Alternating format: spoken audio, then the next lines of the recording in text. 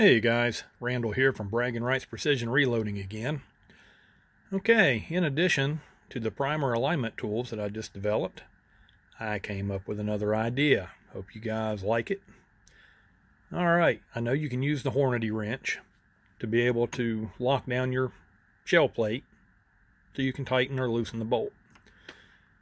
It tends to be a pain and it also marks up your uh, press over time and I know a lot of the guys do the same thing I did. Turn it your notch. Simply just drop in an Allen wrench. Yeah, works great. No problem with it, except for the fact of the sharp edges. It eventually will start wearing in your shell plate. It can make marks or indentions in it, and then it's going to mark up your brass or whatever on the way in and cause issues eventually. So, Ta-da! Uh, very simple. Drop it in. It's made out of 6061 aluminum. Very strong.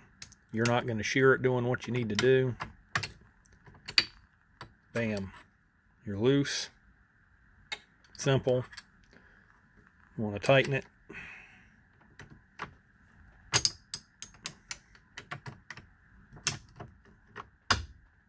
I'm trying to shear it off right now and I can't do it.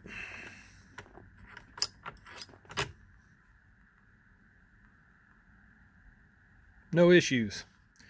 I'm going to add this to my lineup, see what you guys think.